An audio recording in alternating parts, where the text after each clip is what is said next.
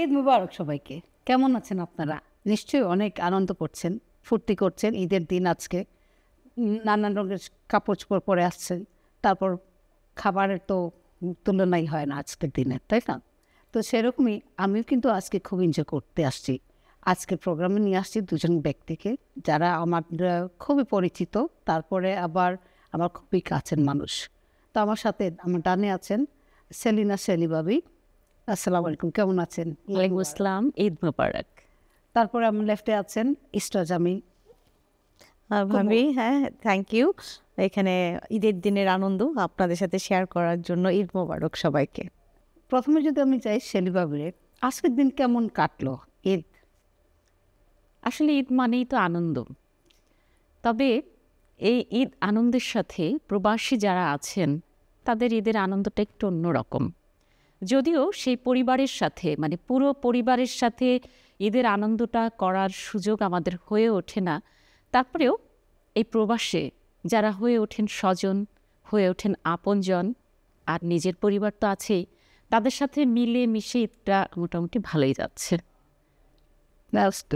আর কুমু তোমার ঈদ কেমন গেল? আমার ঈদ খুবই আনন্দদায়ক। আলহামদুলিল্লাহ এখানে আমরা ভাই বোন সবাই আছি। এবং আত্মীয় স্বজন তো এটা ভাই বোন আর বন্ধু বান্ধব তারাও আত্মীয়ের থেকে কোনো অংশ কম না। অনেক বন্ধু বান্ধব আছে।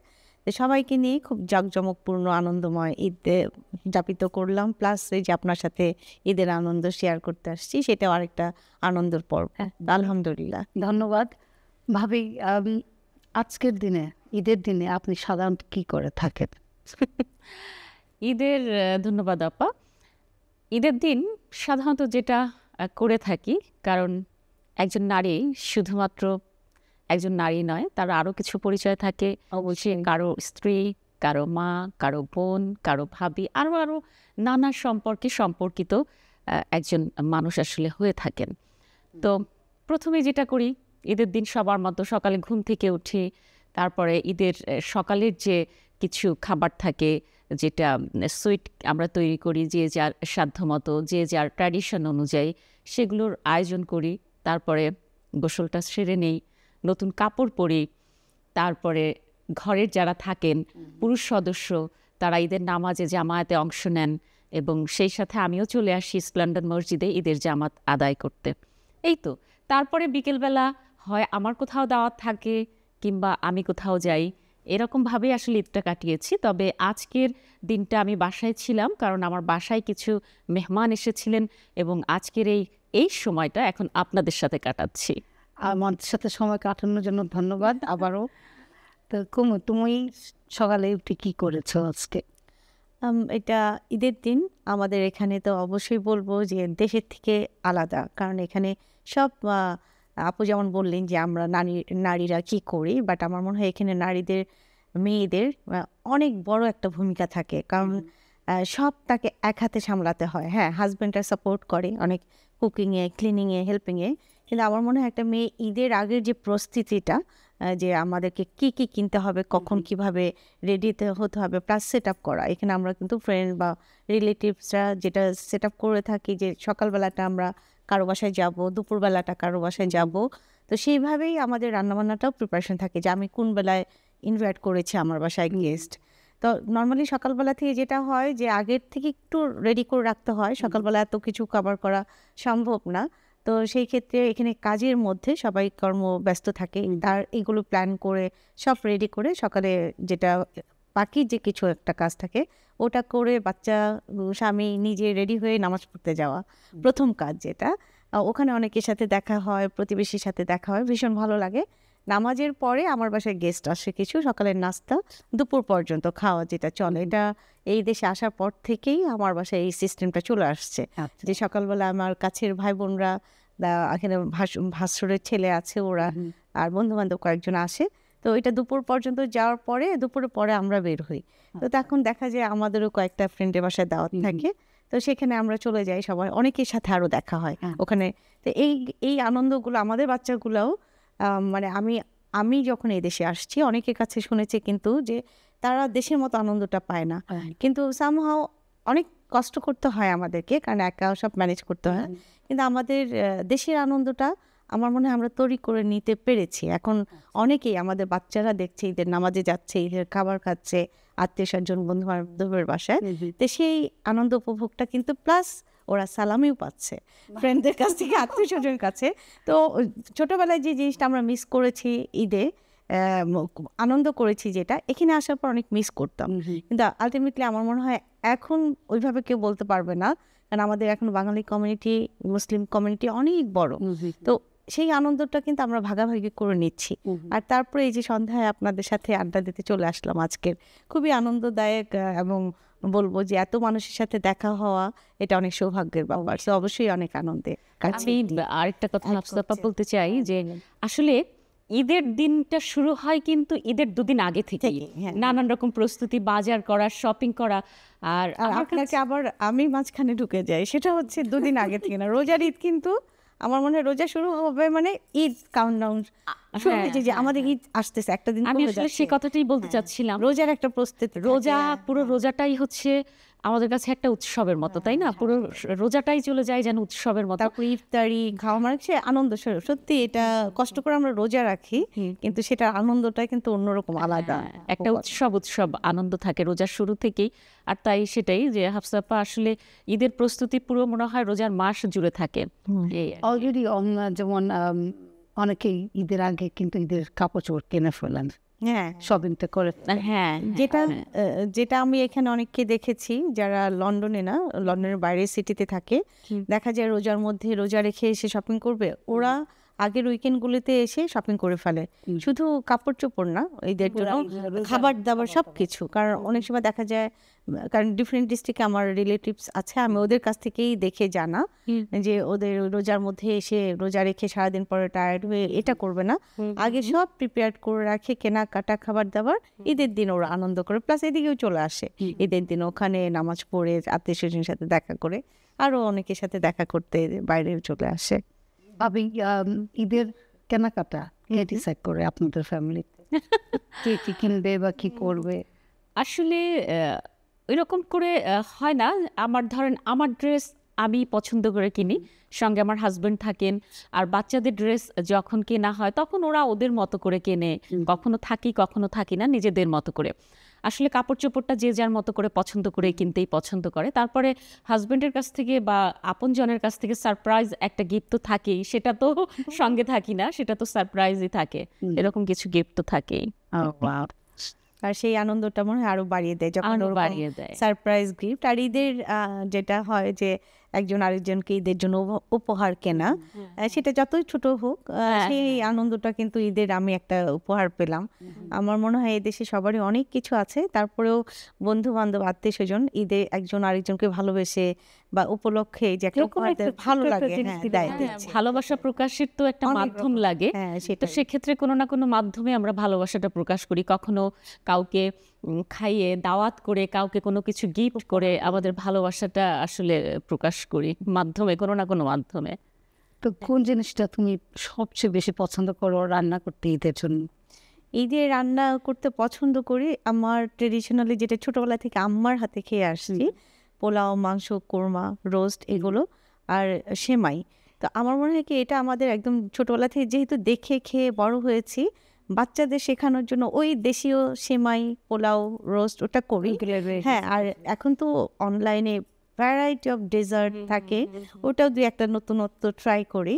তবে হ্যাঁ ভালো লাগে দেশীয় খাবার আমরা মিলে খাচ্ছি ঈদের দিনের। আর এখন আমি আরেকটা জিনিস যেটা একটু অ্যাড করি অবশ্যই ভালো লাগে আমাদের দেশীয় খাবারগুলি করতে।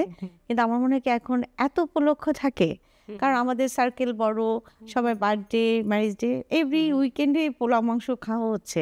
তো সেইভাবে স্পেশাল যে ঈদের দিনের জন্য আমরা ছোটবেলায় যে ফিলটা হতো আমরা পোলাও মাংস খাব ঈদের একটা সেমাই এটা খাব কিন্তু এখন একটা আগ্রহ থাকতো হ্যাঁ এখন ওটা আমরা করি ঈদের আমাদের খাবার করতে হবে অবশ্যই ভালো লাগে কিন্তু তারপর মনে হয় কি মানে রেগুলার উইকেন্ডে বিভিন্ন দাওয়াতে এগুলো খাওয়া হচ্ছে। খুব বেশি স্পেশাল লাগে না যে আমি ভ্যারাইটি কিছু খাচ্ছি। কিন্তু আগে ছোটবেলায় সেটা আমি ফিল করতাম যে খুব একটা স্পেশাল দাওয়াতটাও আগে মনে হয় এত বার্থডে হতো না বার্থডে মানুষ সেলিব্রেট হতো করতো না। যার কারণে উইকেন্ডগুলোতে দাওয়াতও কম থাকতো। এখন যেভাবে আগে হতো ঠিকই কিন্তু হয়তো আমাদের যে বন্ধু বান্ধব মানে স্পেকট্রামটা একটু ছোট ছোট ছিল হ্যাঁ। এখন যেটা হয়েছে যে অনেকের সাথে মিশতে মিশতে দেখা সার্কেল সবারই বড় বড় হচ্ছে। হচ্ছে। তাদের বাচ্চা কাচ্চা হচ্ছে আগে বাচ্চা কাচ্চা ছিল না। হ্যাঁ। এখন বাচ্চা কাচ্চা হচ্ছে। বাচ্চাগুলো বড় হচ্ছে তাদের পার্টি তাদের এইটা দেখা যাচ্ছে যে সার্কেলগুলো বড় হতেই আছে। আরেকটা ব্যাপার এটা একটা অনুষ্ঠান থাকে। হ্যাঁ আরেকটা ব্যাপার হচ্ছে মানুষের লাইফ স্টাইল যদি বলি এইটিজের লাইফ স্টাইল আর আপনার এখনকার যে লাইফ স্টাইল সেটা পুরোটাই সেটা খাদ্যাভ্যাস সেটা পোশাক হতে পারে কোনো কিছুই কিন্তু আগের মতো নেই। যেমন আমার ছোটবেলায় যেটি আমি বলতে পারি আমার পারিপার্শ্বিক বা আমার পরিবারে যে এখন যে খাবার দাবারের যে যেটা অবস্থা সেরকম কিন্তু ছিল না। হ্যাঁ সেটা হচ্ছে সপ্তাহান্তে বা মাসে একবার এরকম একটা হতো। আচ্ছা হ্যাঁ। কোথাও কোথাও গেলাম বেড়াতে বা কোথাও যাচ্ছি সেখানে কিছু খাবার টাবার রান্না হচ্ছে খুব মজাদার খাবার। এটাও আমাদের আলাদা করে আকর্ষণ করতো। আগে মানুষের লাইফস্টাইলটা এত সহজ ছিল না। সেটা পারিপার্শ্বিক অবস্থা বলেন অর্থনৈতিক অবস্থা বলেন বা মানুষ মিত ব্যয়িতা বলেন সবকিছু মিলায় কিন্তু মানুষ এখনকার মতো ছিল না। যেমন ধরেন আমরা এখন প্রচুর কেনাকাটা করি হুম? আগে যেমন আমার মনে আছে আমার ছোটবেলার কথা আমি বলি যে ঈদের জামাটা আমার আমাদের কাছে ঈদের চাঁদ যেমন থাকতো ঈদের জামাটা ওই রকম থাকতো। আব্বার সঙ্গে যেতাম এদের শপিং করতে। আচ্ছা ঘুরে ঘুরে ঘুরে ঘুরে দর্জির দোকান থেকে কাপড় পছন্দ করে তারপরে দর্জির কাছ থেকে মাপ দিয়ে জামা বানানো হতো। এবং সেই কাপড়ের টুকরাগুলাও আমরা কুড়াই নিয়ে আসতাম। এনে পুতুলের জামা বানানো হতো। হ্যাঁ লুকিয়ে রাখতাম যাতে কেউ না দেখে। এই যে এত কাপড় চোপড় এখন দেখা যাচ্ছে যে প্রায় সপ্তাহে আমরা কেউ কিছু না কিছু কিনি। অহেতুক হয়তো আমাদের লাগে না তারপরেও আমরা কিনছি। চোখের নেশায়। তো আগে এই জিনিসগুলো ছিল না। আগে এত এত অ্যাভেলেবেল শপিং মল ছিল না এত অনলাইন শপিং মল ছিল না। যেমন যদি আপনাকে আমি বলি যে এখন যে সুপার শপগুলো হ্যাঁ? তো আগে আমরা মুদি দোকানে বা বাবা মা যারা ছিলেন তারা যেতেন। যে জিনিসটা দরকার ঠিক সেই জিনিসটা কিনে নিয়ে আসতেন। আর এখন আপনি গ্রোসারি কোনো কিছু কিনতে যাচ্ছেন একটা সুপার শপে হ্যাঁ ঠিক কিনলেন কিন্তু আসার সময় দেখলেন খুব সুন্দর একটা জিনিস ঘর সাজানোর একটা জিনিস কিংবা খাবারেরই নতুন একটা নিয়ে আসছে কিন্তু ওইটা কিন্তু আপনি আসলে কিনতে আসেননি। কিন্তু আপনি এসে দেখে তাৎক্ষণিকভাবে সিদ্ধান্ত নিয়ে ওটা কিনছেন নেওয়া হচ্ছে। হ্যাঁ আগে এই জিনিসগুলো ছিল না। মানুষের। হ্যাঁ সহজ লভ্যতা ছিল না যেমন তেমনি এই সহজ লভ্যতার কারণে আমরা কিন্তু অনেক সময় অপ্রয়োজনীয় অনেক কিছু করে ফেলছি, হ্যাঁ। আগে দেখবেন যে প্রত্যেকটা মানুষের সে খুব দরিদ্র দিন আনে দিন খায় তারপরেও সে কিছু না কিছু সঞ্চয় করার চেষ্টা করত। এখন কিন্তু আমাদের মানুষের সঞ্চয়ের পরিমাণ কিন্তু কমে গেছে। কারণ আমাদের এই যে পারিপার্শ্বিক বা অনেক কিছু অপ্রয়োজনীয় কেনা সেই জিনিসগুলো আমাদেরকে এসব থেকে নিয়ে আসছে। এই আর কি অনেক অনেক দূরে চলে গেলাম। তো সে যেটা আহ, বলছিলাম যে ঈদের সে আনন্দের কথা সেই জামা লুকিয়ে রাখা সেই জামাটা পরা নতুন জামার ঘ্রাণটা সেই জিনিসগুলো এখন আসলে আর। ওইটা ভীষণ আনন্দ থাকতো। আসলে সবাই আমরা ড্রেস আপ মানে কেনাকাটা হতো কাজিন বা ফ্রেন্ডরা কেউ কাউকে কারও ঈদের ড্রেস দেখানো যাবে না। কারণ ঈদেরটা দেখালে পুরানো হয়ে যাবে। ওইটার আনন্দ ঈদের দিন নতুন একটা ড্রেস সবাই দেখবে। এই যে একটা আনন্দ উপভোগ করতাম আমরা। এই এবং এবং অবশ্যই একটা মজার যে এখানেও আমার কিছু ফ্রেন্ড আছে। আমরা কিন্তু দেখা যায় যে আমরা প্ল্যান করি শপিং এ আমরা একসাথে যাই দেখি। কিন্তু পরে যে যার যারটা কিনি হ্যাঁ একসাথে কিনি না একজন আরেকজনটা দেখে ফেলবে। প্লাস আমরা হ্যাঁ রোজারও দাওয়াত খাই একজনের বাসায় ইফতারের দাওয়াত। কিন্তু আমরা আমাদের ঈদের না। ঈদের ড্রেসগুলো দেখাই আচ্ছা, না। আচ্ছা। ঈদের দিন আমরা দেখব। আচ্ছা। তো এটা একটু মাঝে মাঝে মজা লাগে যে আমরা অনেক বড় হয়ে গেছি বয়স বেড়ে যাচ্ছে। কিন্তু ছেলে মানুষের কিছু কিছু ভিতরে এখনও রয়ে গেছে। ওই মজাগুলি করতে ভালোই লাগে। আসলেও সেটাই আপা। আসলে আমাদের জীবনটা যত সহজ হয়েছে, আনন্দগুলো আসলে তত কমে গেছে।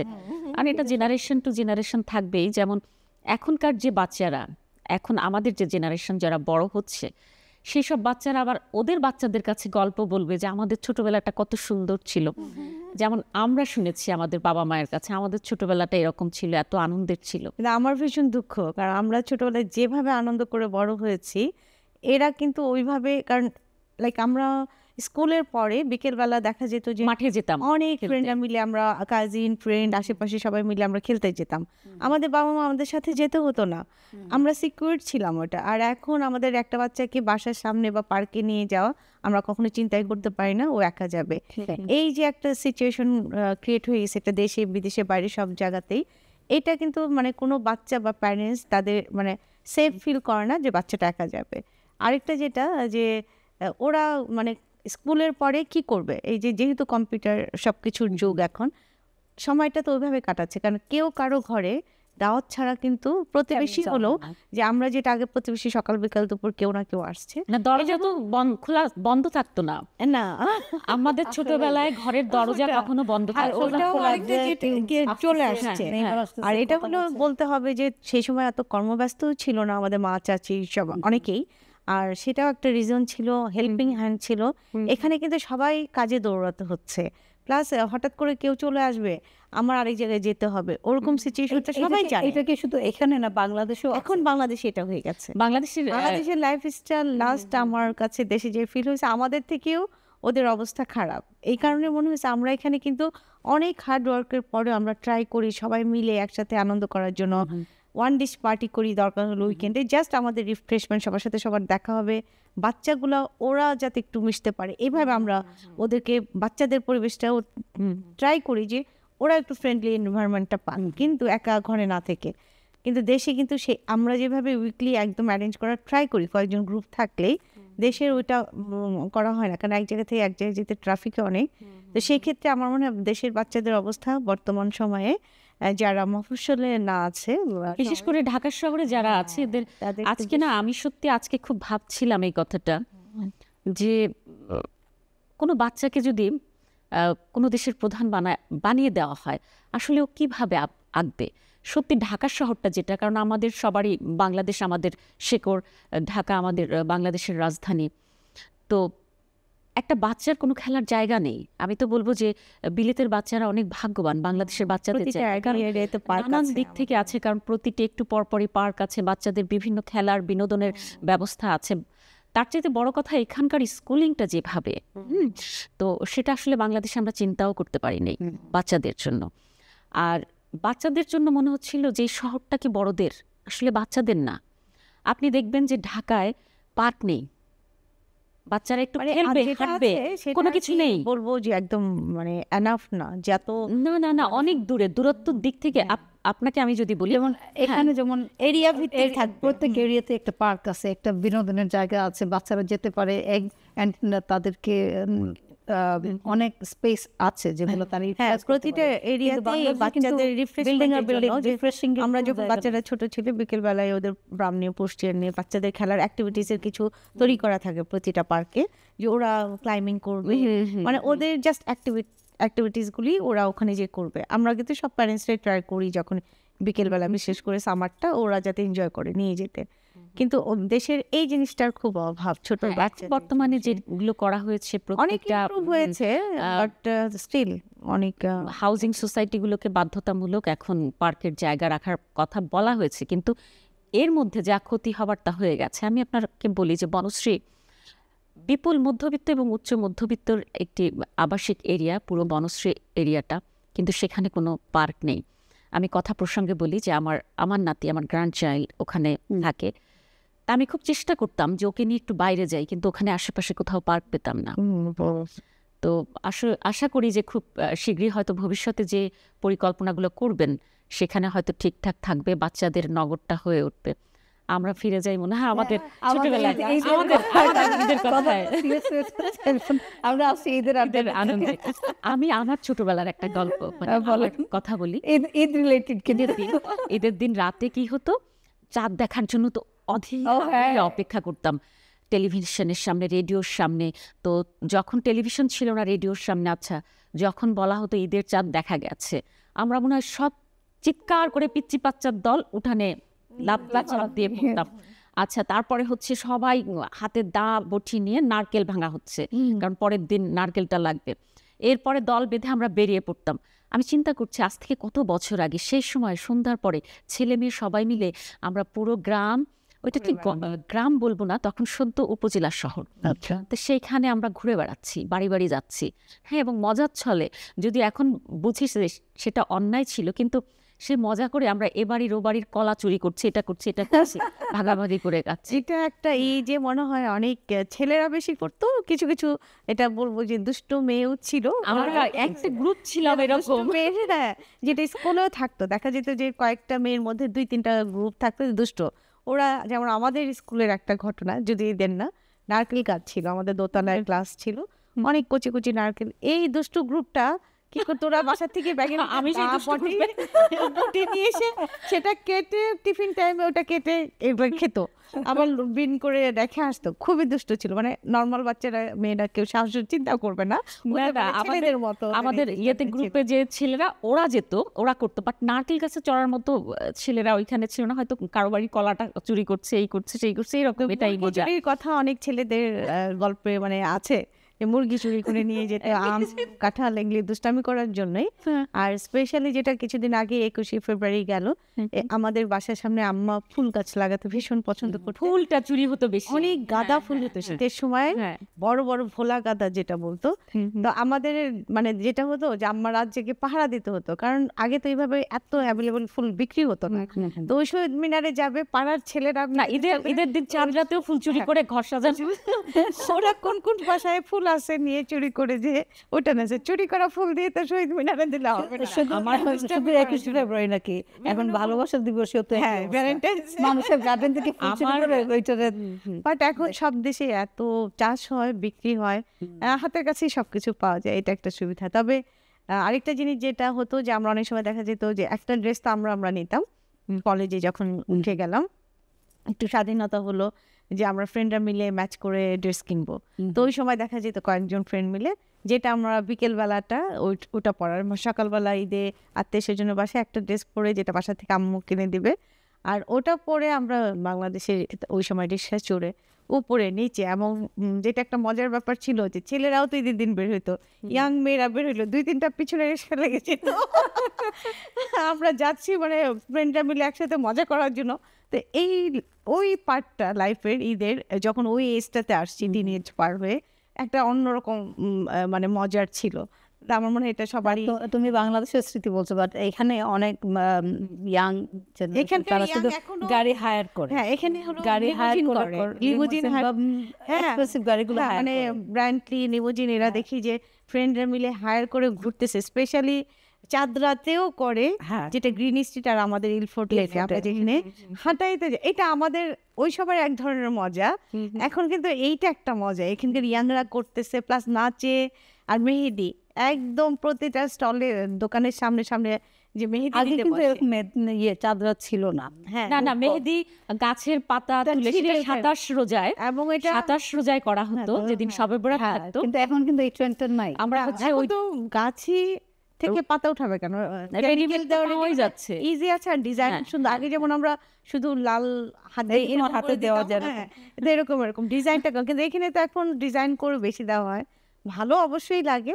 আর হ্যাঁ আমি আগের আগের মতো করে দেওয়ার চেষ্টা করেছি।